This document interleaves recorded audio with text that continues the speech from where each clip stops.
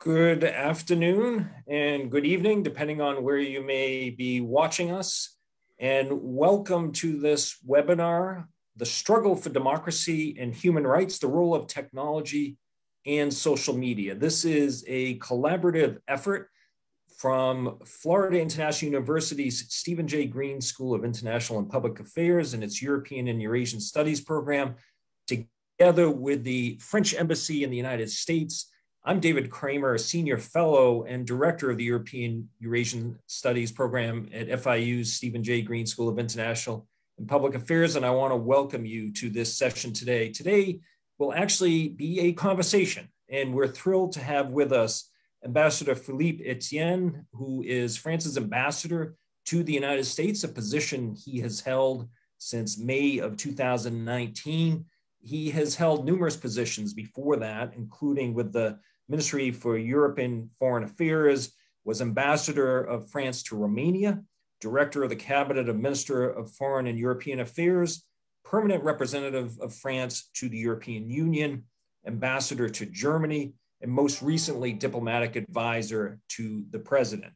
And, and Ambassador Etienne is an expert on the European Union and continental Europe and has held posts in addition to those embassy positions, ambassador positions in Moscow, Belgrade, Bucharest, Bonn, Berlin, and Brussels. So he has extensive diplomatic experience. And we also had the privilege of hosting a conversation with the ambassador during a trip to Miami back in 2019, back when we used to meet in person. Um, and ambassador, it's, it's great to see you, albeit virtually this time again.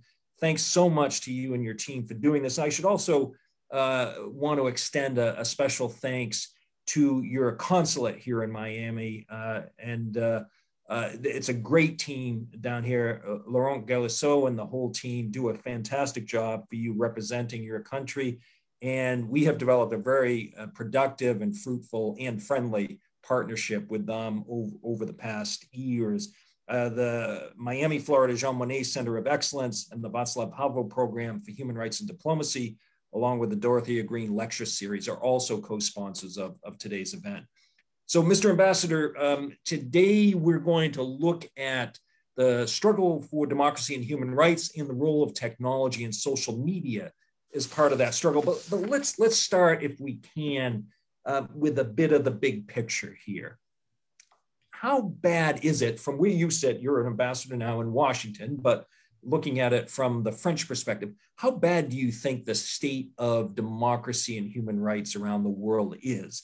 Um, my previous organization, Freedom House, has documented a decline of 15 years when it comes to political rights and civil liberties. The Economist Intelligence Unit and others have also documented a rather steep decline. How, how do you see this? Well, thank you. Thank you very much, David. Can, can you hear me? Very well. Wow.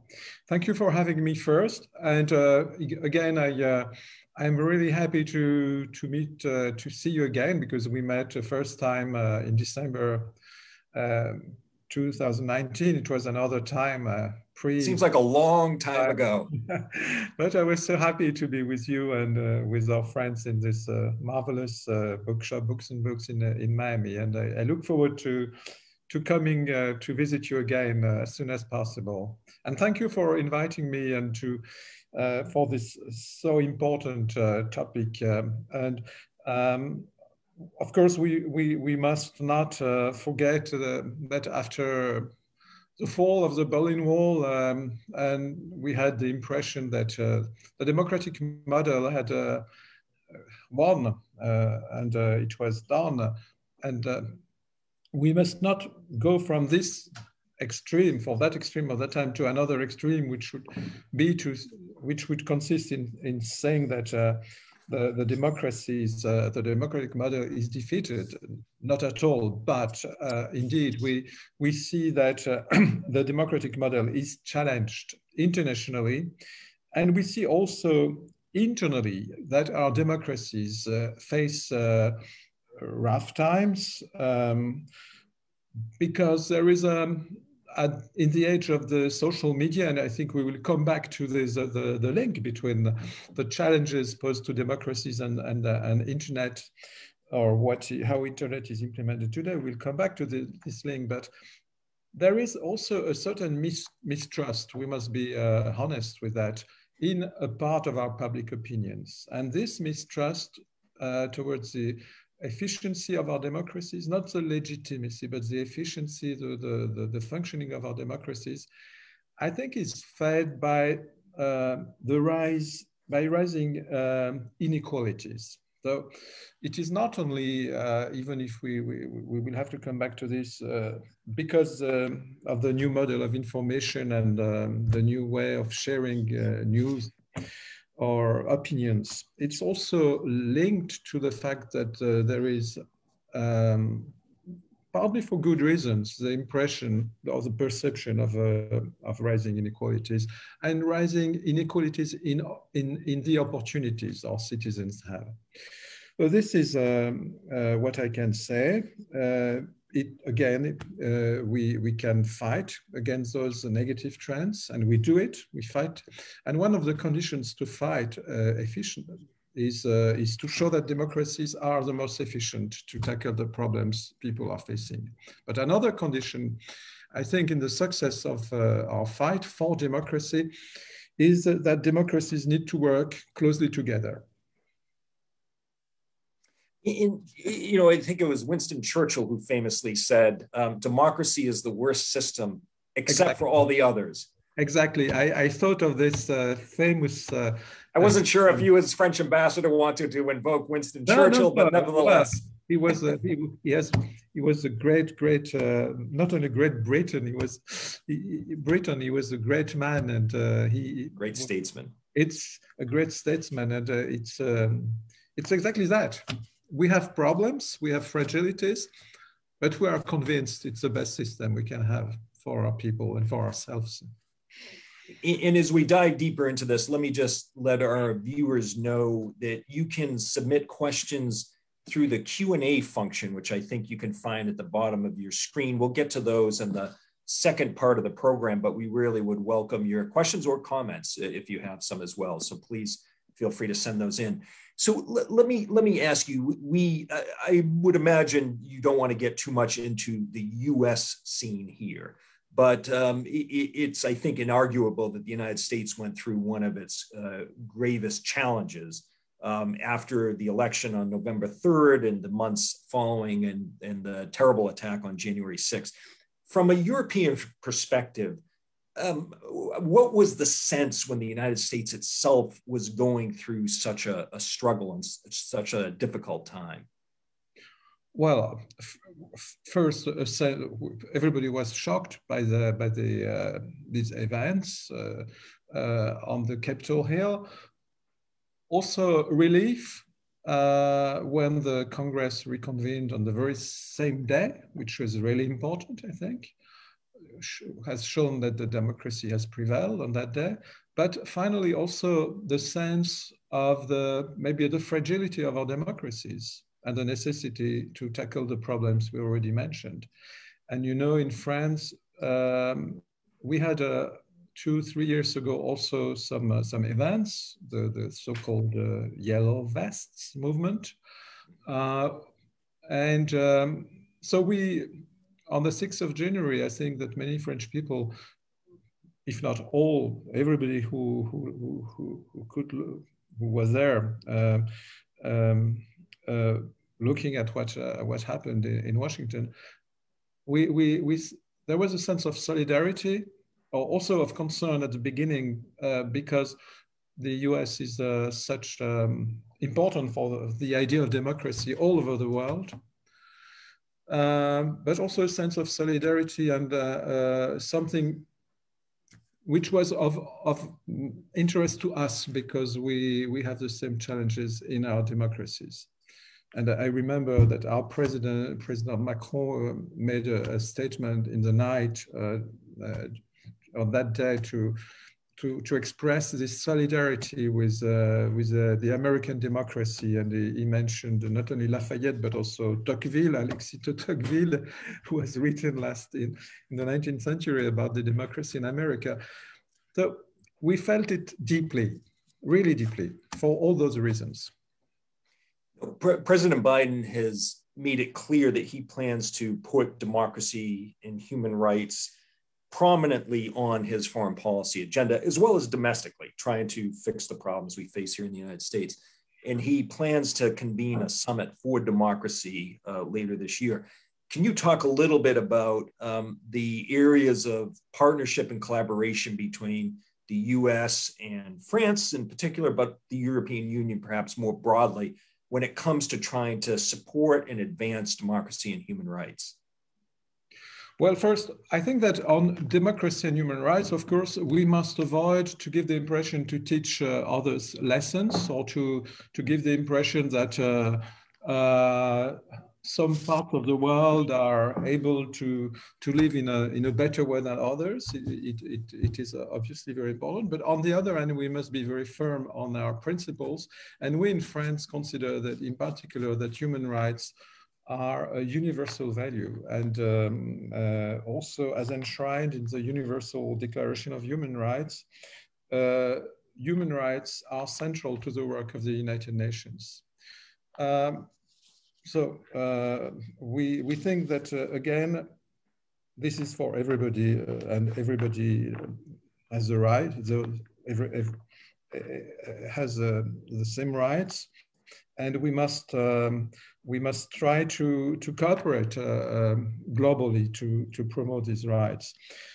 in France, we, we are in particular committed to certain of those rights as a as a, in, in the framework of our diplomacy, but globally a priority, human rights and democracy, and more specifically, some issues are very, very much uh, on, on the forefront. One, one of the issues, for instance, which is of uh, which is something um, also quite um, actual in the US, is uh, the abolition of the death penalty. For instance, Virginia has just uh, abolished uh, the death penalty yesterday, but combating impunity uh, equality between uh, women and men, uh, um, the, the, the fight against discriminations based on sexual orientation, on gender identity. Um, we have some, some uh, more specialized um, combats, uh, especially inside the UN system, where those and other issues are very important for us and for the European Union as such, because we share very much our policies on human rights with other members, nations, members of the European Union. So we, we welcome the idea of a summit for democracy in this respect, based on the ideas, again, that uh, we, we want to uh, uh, um, show uh, through concrete projects and through concrete cooperations that we can advance some, uh, some very, very strong ideas. And uh, with, we have common challenges, as I said, between our democracies. One one of them is the manipulation of information, for instance. Probably we'll come back to this. Or um, um, how to use uh, internet and the cyberspace uh, or not to use it. Uh, so we have the experience in France through the Paris Peace Forum, which was created in 2017. I don't know whether you have heard of it, but the Paris Peace Forum was, was created um, as, a, as a civil society organization in, uh, in, in 2018, actually. The first meeting was in November 2018. Now there is one meeting of the Paris Peace Forum every year in November. And we tried to, to, to invite uh, civil society organizations to present uh, at this Paris Peace Forum projects advancing democracy and human rights. So we, um, we are very, very much in favor of the, the, the this uh, ideas uh, behind the, the initiative announced by the United States to organize a summit, as you said, for democracy, it is not about saying uh, you are not a democracy, you are a democracy. It's about promoting concretely our ideas through coalitions of people also with a civil society, with a business, not restricted to countries, and to but and to be at the same time very firm on our values and to to fight together for these values. So we, we've touched on some internal challenges we as democracies face. I'd like to ask you about some of the external challenges we face, uh, in particular coming from authoritarian regimes in, in Russia and China.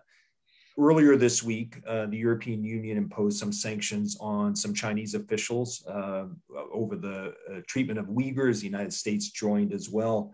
Uh, uh, let's start with China. How do you see um, similarities and or differences between the EU and the United States when it comes to dealing first with China and then we can turn to Russia because the, the European Union has also adopted Magnitsky like sanctions for uh, human rights abuses uh, against uh, uh, officials who engage in that kind of behavior. No, absolutely. No, I see uh, mostly similarities, and the last uh, example uh, underlines those similarities because we have adopted the sanctions um, at the same time on the same issue, which is the treatment of Uyghur. My, uh, the, but uh, also similarities in the way we handle it, because you mentioned the, the, the, new instrument adopted by the European Union, which was used for the first time, which uh, sometimes is called uh, the European Magnitsky Act. Right. Well, in, in spite of all differences between our systems in the, between the EU and the United States, indeed there is a, a same inspiration. So we, um, it is not only that we we have uh, similarities in in selecting the the, the issues in the world where we think we should uh, act, but also the in the way we are acting uh, through such legislations, which is uh, fairly new for the European Union obviously with China, we want as much as possible to, to improve things. And we, um, for instance, we, we uh, concluded politically at the end of last year a new investment agreement uh, between the EU, European Union, and China. And one of the topics we have um, uh, inserted is, um, uh, is uh, the commitments against um, forced labor. So we, we want to advance uh, on these issues um, also in, in engaging with the, the countries, of course. it's not that we like or we love sanctions. Uh, we, we, we, we prefer, of course, to cooperate, to advance, and uh, we, we are not, um, we know we are not perfect either, and we say it, and, but we, we want to, to advance concretely. And uh, Unfortunately, sometimes sanctions are necessary, and um, uh, we, we can see it also with Russia. We, we have um, quite similar um, policies and, and actions here between the US and, and the European Union. And let me just very quickly explain our viewers may be aware, but Magnitsky legislation was passed by the US Congress at the end of 2012 that was specifically targeted for Russian officials who uh, engage in gross human rights abuses. It was then extended in 2016 to, to deal with the entire globe. And then, as we've discussed, the, the European Union has now adopted this um, uh, kind of approach uh, this but, year, I think it was. But, but a horizontal one. It is a horizontal. Exactly, exactly. Not, not a country specific. By, by comparison, but it is not focused at the beginning on one, one country. It, it exactly. can be used in general. Exactly. So let, let, let me, we, we, you mentioned Russia at the very end of your last answer, and you served in Moscow.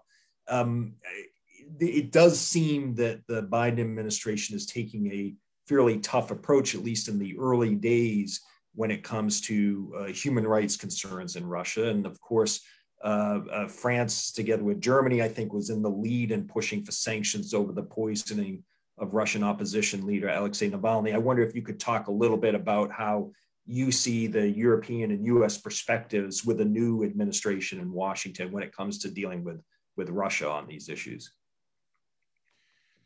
Well, Russia, uh, contrary to China, is directly our neighbor, is a, on the European continent. So we have, but but like China, we also always said we want to speak with uh, with the Russians about our common problems. But the fact that we engage this dialogue with Russia doesn't mean we are not also with them when it's about what happens uh, with Russia or in Russia very, very clear and very firm on our uh, attitude. So you gave the example of uh, Navalny. You could have mentioned uh, Skripal, which uh, was uh, two yes. years before. It's not only in that case uh, a question of uh, human rights, although it's primarily, um, of, of, course, a very, very, very serious uh, uh, violation of human rights, but it's also and it's also very serious about the use of chemical uh, chemical substances as mm-hmm. weapons against uh, citizens. Uh, Skripal was even on the territory of uh, another country in the United Kingdom. So this is this adds a dimension, which is uh, that we, we have uh, international conventions against the use of such uh, uh, such chemical um, uh, weapons. so it's it's really important to not to to. It's really important to react. We cannot we cannot stay without reactions. Let me ask you one more question, and then we'll shift to the social media and technology parts of this do, do you view what we're facing today as an ideological struggle? Is it democracy versus authoritarianism, uh, or, or is it um, simply specific regimes that are pushing back? How do you, is it an ideological battle that we're facing? Well, I think we have specific situations, but it's also a more horizontal uh, battle.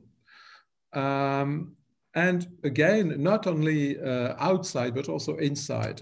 And for me, finally, it's very much about, um, to come back to our point of departure, uh, to show, to, to, to, to, to prove to, to our citizens that we are able to tackle the problems they face. Hence what, what I said about um, rising inequalities in the world, but also inside our societies. This is, a, this is an issue. And for me, the, the most important issue is uh, and I think it is what we are doing, but we, we could be better and we must be better uh, if we want to, to be efficient against the rise of uh, illiberal or authoritarian trends. We must really make the case for democracies that they are the best, as uh, Winston Churchill said, the least worst system to, to tackle the real issues of people. The real issues of people um, including uh, insecurity, terrorism as a threat to our societies, inequality of opportunities when people think they, they are discriminated in any, any kind of way, um, um, how to tackle migrations uh, issues, uh, um, how to organize a recovery after such a pandemic. those are the issues of people and they think of themselves they think also of their children grandchildren the future. This is uh, what we i think would be um, the most important to to defend our democracies finally. Great. And, and i see a few questions coming in. Please again for viewers feel free to send questions in through the q&a function. If you're watching on facebook live you can post questions there and and uh, my colleagues will make sure I get those questions as well. Eh, let me let me focus now um, for for a little bit on the technology and social media side when it comes to the struggle for democracy and human rights. And with the internet and then with social media, the hope was that people living in repressive societies would finally be able to be exposed to the outside world more than they had. And to a large extent, that has happened. But at the same time, we do see some of these authoritarian regimes using social media and other means as a way of surveillance, tracking, um, and disinformation. And so I wonder if you could uh, give us your take on how you and, and France, as well as the European Union, perhaps see this phenomenon of social media and technology as it relates to the struggle for democracy and human rights. Well, obviously, social media, internet at the very beginning, social media now themselves are uh, an incredible opportunity, both for um, growing our economy, for creating value in our in our countries, but also through innovations, but also for the society. Uh, it's incredible what we can do. For instance, thanks to to uh, to to those platforms, we we could, like today with you, exactly overcome the lack of contacts of uh, in person uh, due to to the pandemics. So we we, we cannot ignore the, these uh, incredible opportunities. But remember, uh, in still in the 90s, at the beginning, when um, uh, when uh, of the rise, incredible rise of internet, internet was a, a, an instrument of openness, of liberty. Uh, now, as you say, there are on one side some countries which use internet by a, combina- with, by a combination of censorship and uh, dis- disinformation to to advance their own agendas. But there are also on the other side um, business models which which have grown, which are not at all the small startups of the beginning, but uh, big, big, big businesses, which are very, have been very successful also, but we which are themselves very, very powerful, uh, not only on the market, but finally in the society also. So we we face quite a, a new a new uh, well not a new uh, because it has been lasting for some years already, but compared with the beginnings of internet, it's completely different uh, for for the two reasons, and we have to face this and to ask ourselves what we should do. In in the issue of disinformation. Um, misinformation and disinformation they're they're related obviously but there there are differences between the two it, it can be coming from both internal sources as well as external sources. How do you see the European Union uh, tackling this challenge and threat?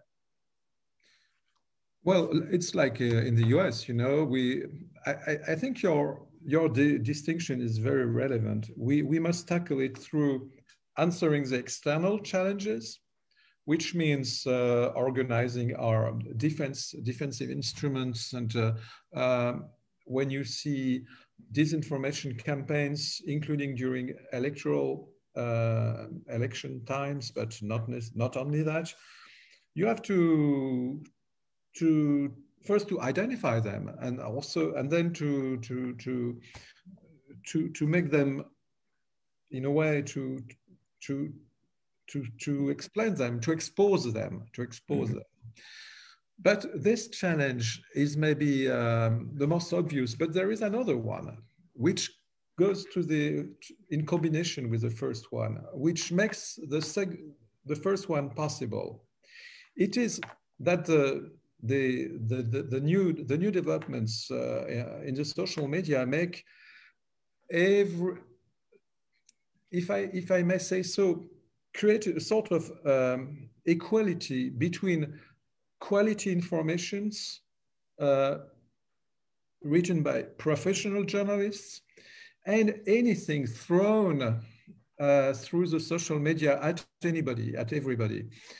So it was not like that before. Again, it is a progress now to have this uh, possibility, incredible possibility of uh, disseminating, exchanging opinions. But the danger, the downside, is that uh, uh, I think the people, it's more difficult for all of us to to to to make the difference between, um, for instance, an information which has been professionally um, uh, recouped, uh, confirmed uh, according to the, the best journalism, journalism practices, and something which has not been at all um, looked at from this point of view, and which might even be the result of a disinformation campaign, of a manipulation, of, of a, a manipulation. So internally, we have this huge challenge of um, educating our kids, our, our new generations. I, I think it, it, it, would be great to have um, efficient uh, programs in the schools the, then our citizens are free, of course, to believe what they want, and they must. The freedom is absolutely essential, but they must given they must be given the tools to to to try to make the difference, or to try to to have to make their own judgment and to to to understand uh, uh, that there can be differences between different different ways of uh, of um, disseminating informations or things looking like informations. And, and we do see also that um, some of the tools we we use that all of us use i guess maybe you can't see it against my background but the, you know i'm holding up my iphone um, that some governments use these tracking devices to keep an eye and follow their citizens for surveillance purposes mm. Um, uh, how, do, how does that how is that viewed I, I, europe seems to attach significant emphasis on the, uh, privacy rights absolutely. of individuals. No, so absolutely. if you could describe that. No, the European model uh, for uh, the digital the digital economy is based on uh, on the idea that a certain amount of regulation is necessary. And the first priority in this regulation uh, effort was privacy. This is the reason why the European Union some years ago adopted the general regulation on uh, privacy to uh, on the protection of personal data or on the protection of pri privacy. Uh, and uh, this uh, instrument, which is a law, it is a legislation common to all uh, member states of the European Union, which had been ad adopted by all of them and the European Parliament, is now, I think, um, a reference because we see uh, in all some some other parts uh, in the world uh, a big interest for this. It creates obviously uh, a, certain amount of burden for businesses or for um, any organization in society because you have then to abide by this regulation and to protect the privacy of the personal data you use. And so you, we, you must be cautious because the use of data is uh, one of the new uh, treasures of the, of the new economy, of course. But we think it's also the only way to give uh, uh, to to to succeed in the development of the digital economy because otherwise people do not trust and in Europe people are very can be very mistrustful uh, of the way uh, their personal data are used. So this regulation has really been important. And I, I think that in some, some uh, states in the United States, uh, in particular in California, I think there is also now we have seen in the last year some uh, some uh, uh, decisions to to try also or, or, to regulate actually um, this issue of privacy. So this is the first. this was the first priority, but we see there are other other issues of regulation of a regulatory type we can uh, we can come back to which are now also very important so let me ask you one more question and then i'm going to turn to the uh, viewer questions and we're, we're, getting some great ones so i appreciate uh, those of you who are sending in your, your questions. Um, I, I, can't resist asking Mr. Ambassador when Twitter decided to um, take down Donald Trump's uh, account. Uh, what was the reaction in Europe? There, there, were some accusations, as you know, here in the United States, that this was an act of censorship when censorship really is an act by a government, not by a private party. But then there are others who say that uh, uh, this is operating within the public domain so that there were issues concerning that. How, how, how do you and, and France and the European Union see that? Well, first, um, um, I think your question is about the reactions. The, the, the, uh, your question is more the systemic question, independently from what uh, um, happened in in the United States at that. Mm-hmm. At that uh, it, so I will I will on, only answer the systemic dimension of this mm-hmm. uh, your question. Indeed, we had reactions in the in in Europe uh, on because in uh, in Europe it seems a bit strange that private companies take such responsibilities which have so so big effects on the, on the public life, on the functioning of our democracy. So um, it might have been the I don't know the, from the point of view of these companies, uh, it, it, maybe it became absolutely necessary to do that. I'm I'm aware of the complexity of the issue, of course, but we we we have to to look at this also uh, in a longer perspective and maybe, and it, it was a reaction by some, some people in Europe, to ask ourselves whether we should not have some organization in our society to, to play this role. Um, um, should it be um, the role of the big platforms, um, internet platforms, to, to, to take such decisions? And I think this is also now uh, this question uh, is also well understood by the, the platforms themselves because I see how some of them even ask for regulations now on different subjects. And we have made progress, for instance, between, uh, I don't know whether you know what is a Christchurch call. So the Christchurch call was uh, issued by New Zealand and France with a number of other countries and CEOs of platforms two years ago. It's, it's not the, at all the situation uh, you mentioned, but it was after uh, terrorist attacks in, uh, in New Zealand, you know, and mm-hmm. we have, after this call to action, Chris Christchurch Call to Action is a complete title. We have start, we, we have developed a good dialogue with the tech platforms on, uh, and here the issue was how to prevent the dissemination of content of uh, terrorist or, or extremist, violent extremist contents. And um, so it, uh, it has also something to do with, uh, with um, uh, what is happening inside our societies. Christchurch was not a terrorist, um, uh, a jihadist or a Islamist terrorist. It was against uh, Muslim citizens. So we have to combat all forms of uh, violent extremism and terrorism, of course, everybody agrees on that. But we have also to, uh, if you want to be efficient, to fight against those uh, phenomena on the internet. So we cannot leave this to the sole only responsibility of uh, of those companies of those platforms. It must be it must be it is a public order priority. We we cannot um, uh, um, uh, leave it to the responsibility of uh, of, of, private uh, of the private sector.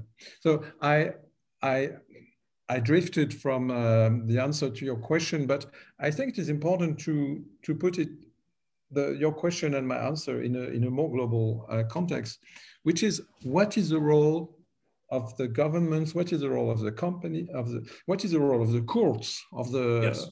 the ju judicial system. We have also in Europe, like in the US, we have independent regulatory bodies, which are not far from the, not courts, but which are independent, but public. We have parliaments, we have uh, governments, we have uh, NGOs, we have the private sector.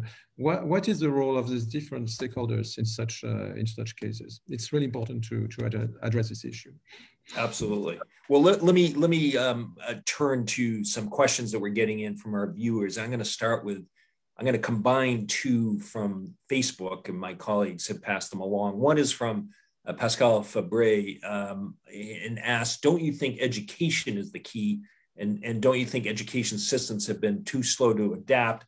And let me tack on the other question. It doesn't have a name uh, attributed to it, but deep fakes represent a serious threat for human rights since some extremists are using social media to manipulate public opinion. What can be done to fight them? Thanks for those questions. And I'll, I'll get to the others uh, after, after we hear from the ambassador on these.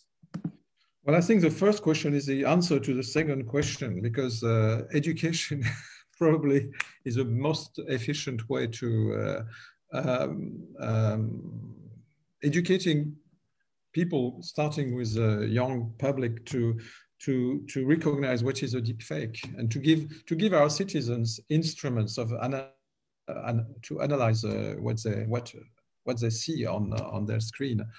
Uh, but it, it is uh, the first question. Uh, the um, the is also really important and relevant because uh, we are too slow and we the technological changes are so quick that uh, it's not easy to adapt our education systems to to this uh, now very high priority.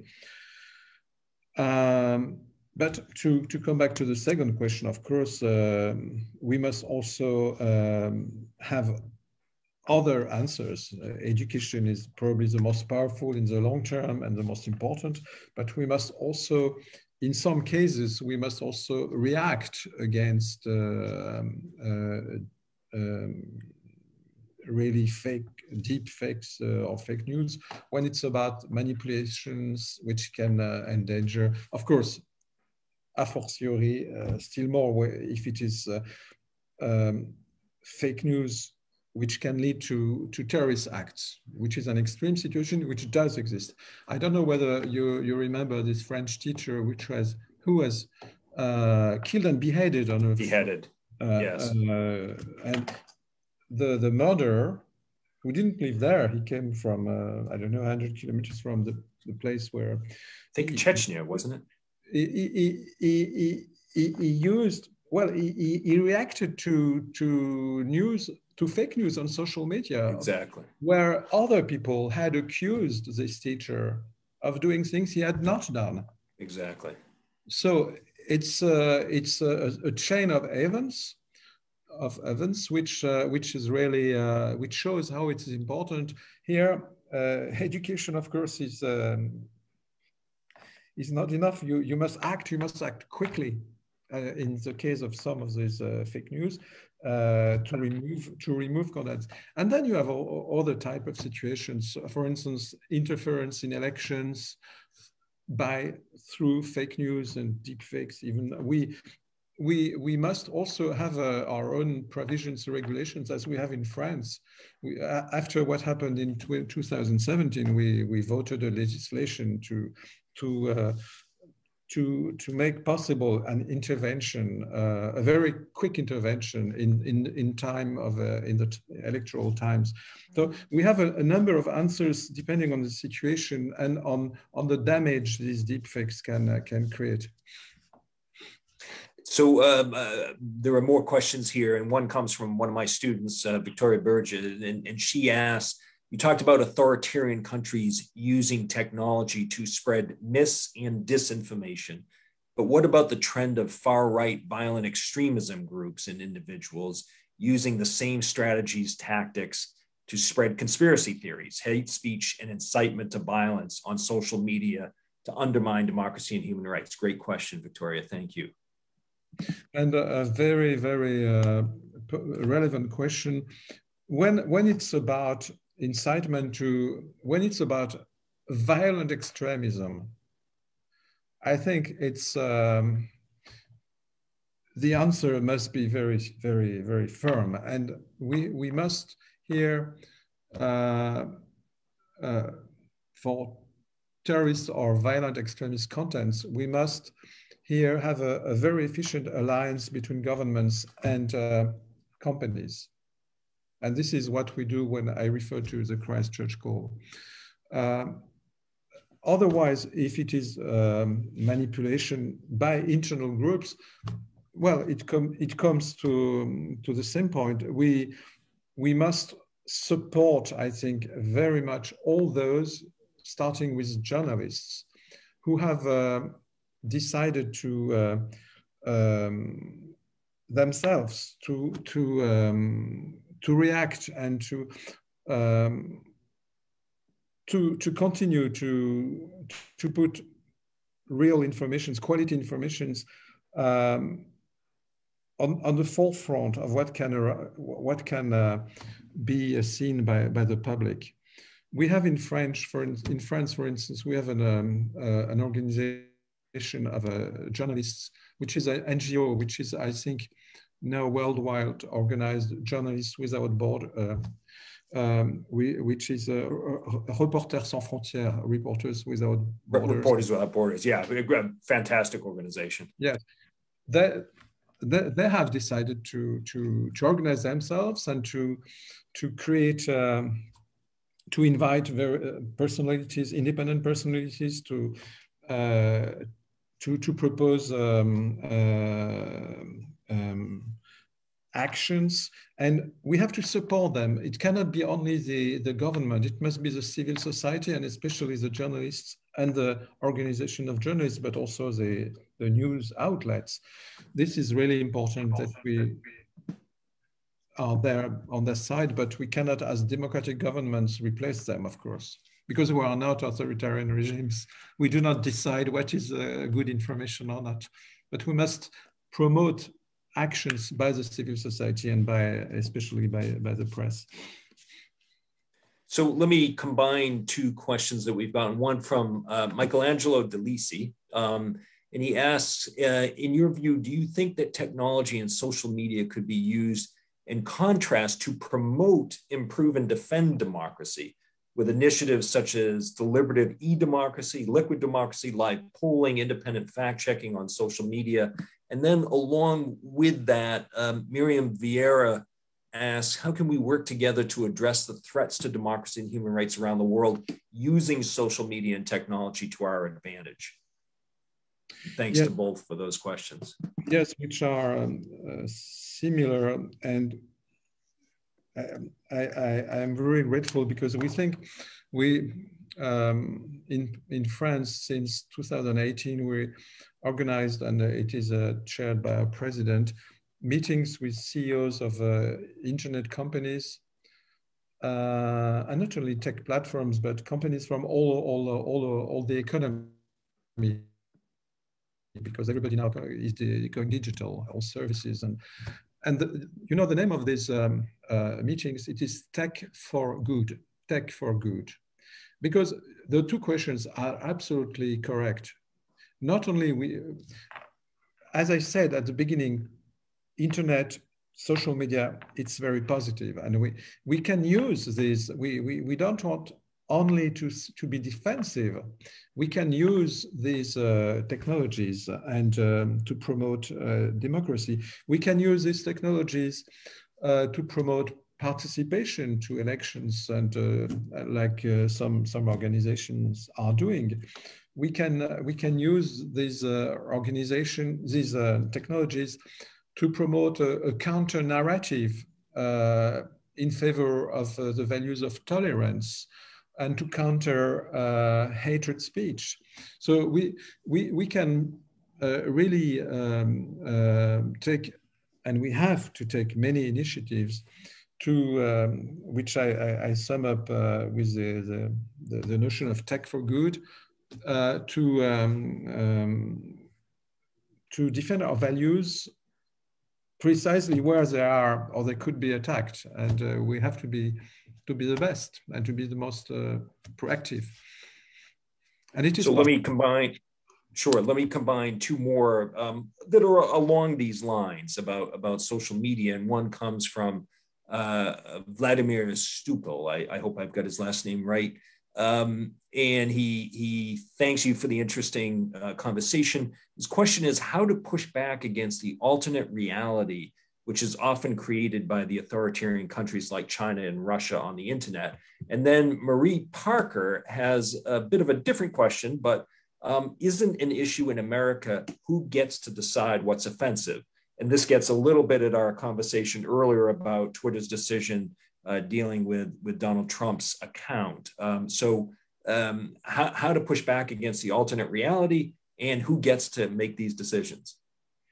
Well, I like very much the um, the expression of alternate reality because some some of these regimes really create this uh, from the scratch or some organizations, and they, I remember some uh, some some months ago the a new legislation in, was proposed to the French Parliament, and um, uh, I remember very precisely how it was completely. Uh, um, turned around and presented uh, by some people who had interest to do that as exactly the contrary of what it was.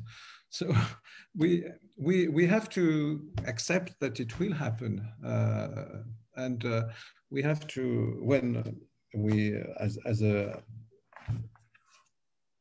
as democracies or as a, a newspaper, or TV channels, or uh, we, we have to each each each of us we will have his, his role and will decide for himself, but or herself. But I think we um, so there is not one answer because it depends who you you are in the society. But uh, I am I am I represent a, a government uh, and we, we think that we have as uh, as democracies, as democratic governments, also to to work together and to, to look uh, how we can uh, fight efficiently again um, disinformation and manipulation informations. And um, I don't come back to, to the different situations I already mentioned. And the second question also is uh, so important because what who who is who has to take responsibilities when there is some uh, uh, dangerous content, for instance, uh, to put it down. I think, again, we have so many different situations. We have a, at one extreme, content such as a, a, um, pedopornography on the one hand, or terrorist and uh, extremist violent contents, things which are so harmful that you have to act. And the, the more harmful it is, the more the intervention of law, of regulations, of governments is, is necessary. And then you have other cases where uh, probably there is a combination uh, more there is more self-regulation more uh, action by inside the society by those who have to to act what is sure is that two uh, two things first um, you will always have because we are democracies a combination of uh, action by the governments and action by private actors because we're now multi-stakeholder societies and these issues cannot be tackled only by the public sphere or only by the private sphere. It must be a combination and an, an, an alliance between the two. And second, very important thing, we are states, we, are, um, we obey the rule of law. We obey the rule of law, which means that at, there must always be a possibility of redress and uh, before the courts. We are in a, our democracies uh, must uh, give the possibility to, to use um, um, the courts in, in, in, in all directions. When it is too dangerous, you have to, for instance, to, to act immediately. But of course, you must protect uh, freedom, not only freedom of speech, the freedom in, freedoms in general, by these possibilities. When, for instance, a citizen considers that his private data has been misused because he has given them to one organization, which has then sold them to another organization without his consent, he must be able to go to the court. This is really important in all situations. So uh, we, we don't have much time left. Let me try to get in a couple more questions if we can. Um, Douglas Yoder uh, wrote in um, conveying what President Biden said in his first press conference this afternoon that there is a great challenge, not just for the United States, to demonstrate that democracy can continue to work in the face of worldwide conditions, including cyber issues and social media. He, meaning President Biden, specifically pointed to the leaders of China and Russia as exemplifying the belief that authoritarian rule rather than democracy can only manage these challenges. He, would welcome your comment to that. Well, this is a, a real, uh, the, the real issue uh, for the future. Who is the most efficient or who is the most efficient to protect his own model and also to promote his own model to, to, to third countries because this competition between model uh, is, uh, is not only um, we, we, we quote always the same countries, uh, including Russia and China, but consider the whole world what, what is the future of all our nations? Uh, um, it's for each people to choose its uh, its own system, and uh, it's really important that uh, we um, we uh, we are able to show the um, that our model is uh, is the best one. So it's it's really important. Um, to um, to be aware there is this competition of models where we have our own instruments, uh, uh, which are openness, tolerance, and the defense of, of human rights and democracy. Um, but we must be uh, also aware, we must not be naive. Uh, we must be aware that it is a true competition. Um, I think the question was also about cyber security and cyber yes. attack. So uh, this, this, is more and more serious. This is more and more serious, and it's not only it's it goes well beyond uh, disinformation. So cyber cyber security is about the functioning of our healthcare, uh, energy grids, healthcare in, uh, infrastructure. So this is now something which is at this it's a, uh, at the top level of our security. It's not it's not like um, uh, maybe a military power as it was before, but it's uh, as important. It's our, our core security, which is uh, which is uh, at stake. So we know that uh, it, the international life, the notion of security is expanding. The notion, traditional notion of security, is not what it was before. Uh, and we know there are two uh, new new new spaces, new new new domains where our security is at stake. The first space is cyber, and the second one is overheads, the outer space, which is yes. more and more a, a uh, so it is not only land, sea, and air, but it's also cyber and outer space. Yes, and, and you, I would just add, Mr. Master, you, mentioned um, the, the various hacks and other things. Um, the SolarWinds, obviously, the hack here in the United States got a lot of attention.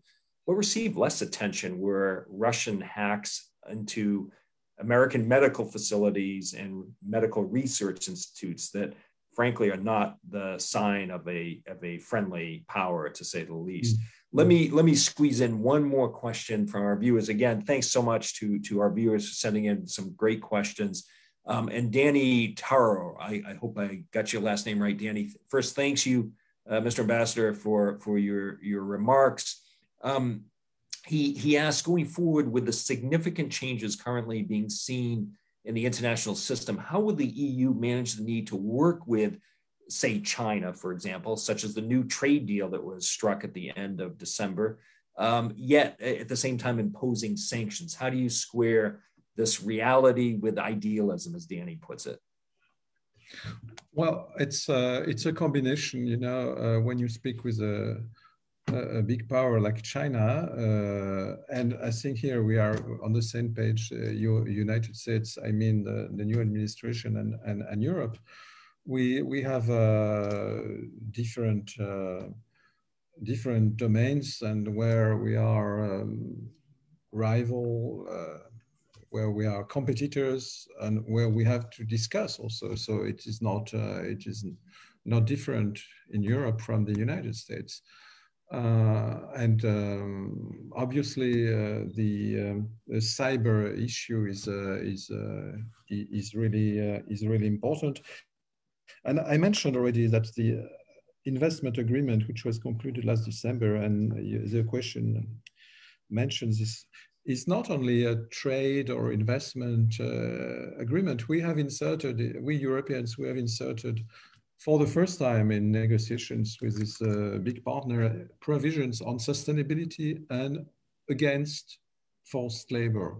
So uh, it could show a, a path, well, I don't know whether it will be easy. I'm sure it will be not. It will not be very easy, but we we, we have to to insist on our values also when we when we discuss such uh, such agreements. And I think I even saw some rumblings among some members of the European Parliament saying uh, that uh, they might hold up ratification of the deal after the Chinese reaction to the sanctions that were imposed uh, earlier this week. So it'll be an interesting time for you and France and Europe, as well as for the United States when it comes to dealing with these um, very weighty challenges. Mm. Uh, this has been a, a, a, terrific conversation, Mr. Ambassador. I, for the past year, I've done a fair share of these webinars, and the best sign of the best of them is that they go quickly. And this one went very quickly. And, and so I'm really grateful to you for this. Um, we, we, have some colleagues on each side uh, with your embassy. Um, my thanks again to your, your team for hosting us uh, on, on Zoom today. Your consulate down here in Miami, Laurent, Natalie, and the team, uh, just great to work with. My colleague, Christine uh, Kali Sanchez, here in the Europe Eurasia program, uh, without whom none of this would happen. Um, and so uh, I'm, I'm particularly grateful, Mr. Ambassador, to you for taking an hour of your time from a very busy schedule uh, for making it possible for us to have a, a fascinating conversation. I'm really grateful to you. Um, so, Ambassador uh, Philippe Etienne, thank you so much uh, for joining us today. Um, this has been a, a uh, webinar on the struggle for democracy and human rights, the role of technology and social media, a conversation with France's ambassador to the United States. I'm David Kramer, Director of the European Eurasian Studies Program at Florida International University's Steven J. Green School of International and Public Affairs. My thanks to all of you for joining us, and I wish you the best in health. Thanks. Thank you very much. Bye. Thank you, Mr. Ambassador. All the best.